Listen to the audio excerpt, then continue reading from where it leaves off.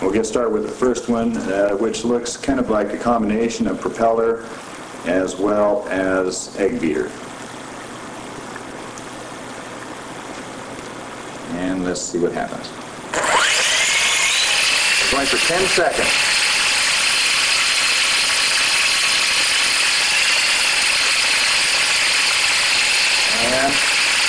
That would be 10 seconds.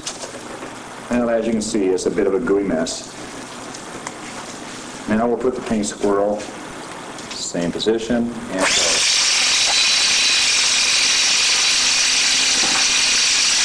Five seconds. Well, we're pretty much done, but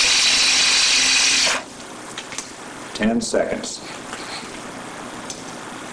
A couple more seconds and that would have been thoroughly, thoroughly mixed. If it's not already, yeah, we just have a little bit here on the side. But as you can see, what's happening is it's pulling fluid in from the top as well as the bottom, and that's the difference. What you see going on on top of the paint is also occurring on the bottom.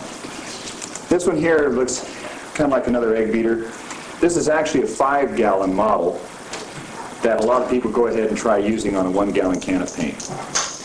Go ahead and stick it in here and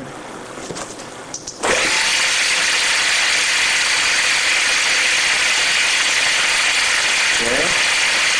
Not a lot happening yet. That was 10 seconds.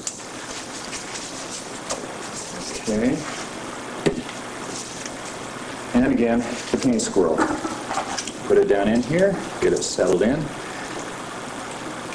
seconds. That was three seconds. Now I can feel it pulling me down to the bottom. And that was actually nine seconds, but we'll give it the second.